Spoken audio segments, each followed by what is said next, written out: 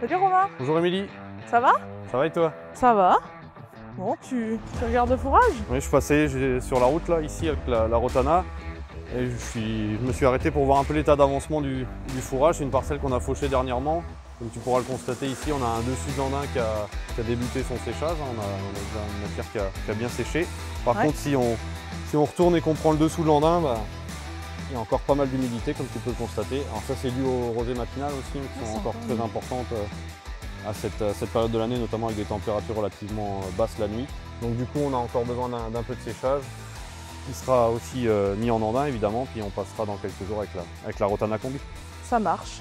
Du coup, est-ce qu'on profiterait pas de ce temps de séchage pour euh, aller présenter dans le cadre d'un nouvel épisode de la gestion des terminaux? Écoute, je suis attendu sur une démonstration, mais j'ai un peu de temps quand même de- devant moi, et donc on peut se lancer sur un nouvel épisode si tu le souhaites. Ça marche. Ben, on y va alors On commence par ton, ton tracteur. J'ai vu qu'il avait un seul terminal, ça peut être bien de commencer par un tracteur équipé d'un seul terminal avant de basculer dans le mien, qui a bien sûr le- les, les deux Les écrans. Ok, ben on fait comme ça. Allons-y.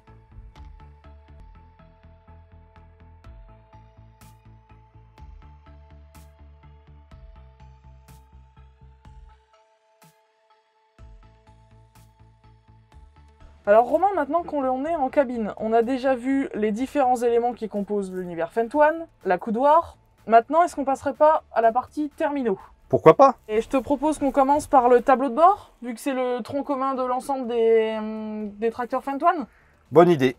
Alors ce tableau de bord, on va vous le présenter un peu plus en détail. On vous l'a annoncé comme une innovation dans, dans le milieu. Pourquoi? Parce qu'on peut faire varier son affichage. Si je prends celui que j'ai devant moi, j'ai un affichage plutôt classique avec la vitesse d'avancement, le régime moteur, les différentes jauges, les régimes euh, de rotation de mes différentes prises de force. Donc ça, c'est des, des éléments qu'on avait facilement sur les tableaux de bord déjà auparavant.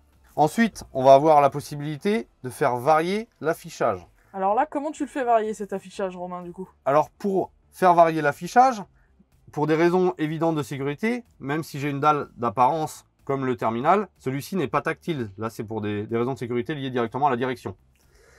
Je vais avoir la molette de navigation multifonction ici, qui va me permettre de gérer absolument tous les écrans à l'intérieur de ma cabine Fentoine. Donc là, pour ce faire et pour faire varier l'affichage du tableau de bord, il suffira d'indiquer à la molette qu'elle pilote le tableau de bord. Et donc j'ai une touche dédiée à cette fonction. Ici, si tu regardes mon terminal en bout d'accoudoir, j'ai ce petit triangle bleu. Le petit triangle bleu indique que la molette ici est affectée au terminal principal et donc elle se balade et je peux l'utiliser pour naviguer sur cet écran.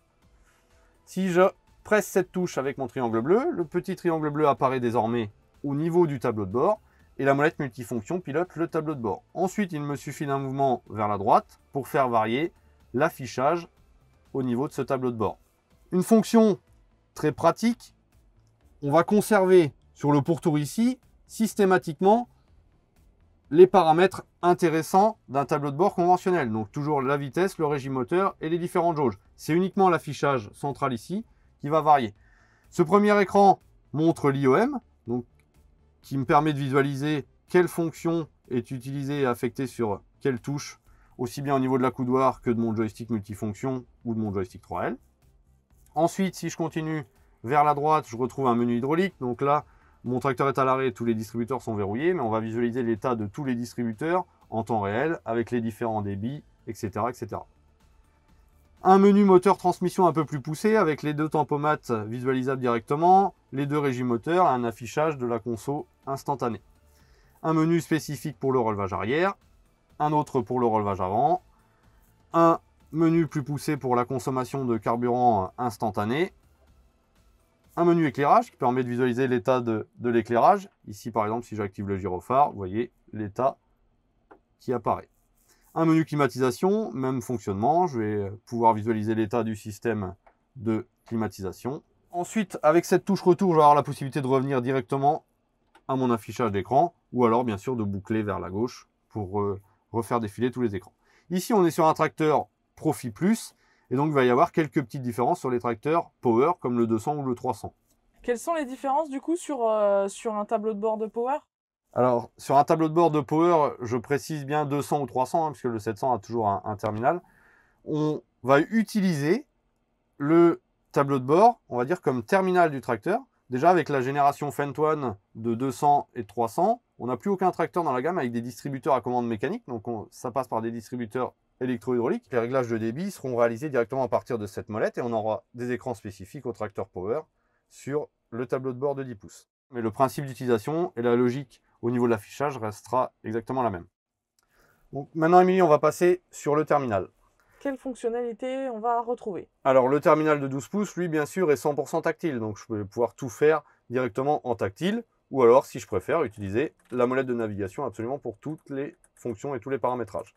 Premier élément, ici, vous voyez avec ma molette, je me balade sur le bandeau supérieur. Ce bandeau supérieur, il affiche des informations intéressantes euh, à avoir sous l'œil en permanence. De même, pour le bandeau inférieur. Donc ça, c'est des bandeaux, on va dire, d'état qui vont nous afficher des informations qui vont rester en permanence. Donc, toujours intéressant d'avoir la vitesse des tempomates, la butée de pédale, ou par exemple les deux régimes moteurs, etc., etc. Ces bandeaux, en plus d'avoir un affichage intéressant en permanence, ils vont être interactifs, c'est-à-dire qu'ils vont me proposer des raccourcis. Là, typiquement, pour ajuster la température à l'intérieur de ma cabine, je clique sur ce logo, j'atterris dans mon menu climatisation. J'aurai la même chose en bas. Si je souhaite régler directement un tempomate, je pourrais le sélectionner ici, j'atterris directement dans le menu tempomate. Ensuite, si je te parle un peu de la logique de navigation, on va avoir sur ces terminaux une logique de navigation vraiment typée smartphone et tablette, c'est-à-dire que je vais avoir des mouvements très similaires à ce que je retrouve sur smartphone ou tablette, et aussi une logique d'organisation des éléments. C'est-à-dire ici, tu vois ici, ces petits ronds, 5, m'indiquent que j'ai 5 pages sur lesquelles je peux slider comme ceci. Et donc ces pages, l'affichage que j'ai devant moi ici, c'est l'affichage par défaut usine, donc la page principale du, terminal. Ensuite, sur chaque page, j'ai différents éléments qui sont positionnés. Et alors là, Romain, euh, si je veux retrouver un menu spécifique, comment je peux faire? Il y a plusieurs possibilités. Il y en a une très simple, et c'est pour ça aussi qu'on a créé cette touche. On a une touche à damier ici à, à proximité de ma molette de navigation. Et à partir de celle-ci, lorsque je cherche un élément, je pouvoir afficher la quasi-totalité des menus principaux de mon tracteur. Et donc m'y retrouver beaucoup plus facilement avec très peu de, clics, on va dire, ou d'actions en tactile sur le terminal. Si je te prends un exemple, par exemple ici, sur ma page, tu ne vois pas de teaching, donc bien connu chez Fent, le, système de séquençage en fourrière. Et si je clique ici, directement, je vais pouvoir accéder. Donc là, j'atterris directement sur mon teaching et je peux aller paramétrer mes différentes séquences en bout de champ. La plupart des logos ici vont être parlants à, tout le monde. Hein. C'est des logos euh, vraiment faciles à assimiler. Donc, euh, on va avoir par exemple ici la suspension de pont avant, consommation, on l'a vu au niveau du tableau de bord. Ici pour mon système d'info loisirs, l'éclairage, etc., etc. Romain, maintenant qu'on a vu comment ça se présentait avec un terminal, est-ce qu'on n'irait pas dans ton tracteur maintenant pour voir la logique de navigation avec le terminal qui est dans la garniture de toi? Allez, allons-y.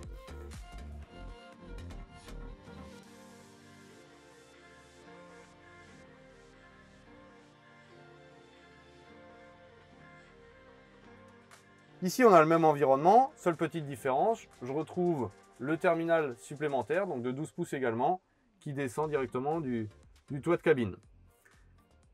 Alors, pour piloter celui-ci, eh quand on dit que la molette de navigation elle peut piloter tous les écrans, je peux appuyer une nouvelle fois sur la touche ici et basculer mon petit triangle bleu ici. Et j'ai bien ma molette qui vient piloter cet écran. Donc même schéma de fonctionnement, même logique de navigation, d'organisation des éléments avec bandeau supérieur et inférieur, similaire au terminal de la coudoir. Donc si j'ai bien compris Romain, tout est pareil dans la logique. Par contre, il y a juste une chose qui m'interpelle. Euh, l'écran qui est au bout de la coudoir, il n'est pas présenté pareil que dans, mon tracteur. Exactement, alors ici c'est tout à fait normal puisque le but premier avec un tracteur Fentoine, c'est aussi d'offrir à nos clients la possibilité de personnaliser à souhait vraiment l'affichage sur les différents écrans. Donc là ici on a un affichage qui a été paramétré pour l'utilisation spécifique de la Rotana Combi. Alors aussi bien sur l'écran ici que sur le second avec notamment le visuel de la caméra. Donc ça, bien sûr, on peut paramétrer tout cela à souhait. Du coup, Romain, comment tu as, fait euh, pour mettre cet écran différemment? Alors c'est très simple, ça passe par ce qu'on appelle le gestionnaire d'aperçu qui me permet vraiment d'organiser les éléments à souhait Mais ça, je te propose de te le présenter directement au champ quand euh, on pressera cette parcelle pour avoir vraiment un cas concret d'utilisation et optimisation de l'affichage en, en conditions réelles. Ça marche. Bah, on se retrouve quand tu vas presser alors. On fait comme ça. Ça marche. À bientôt. À bientôt.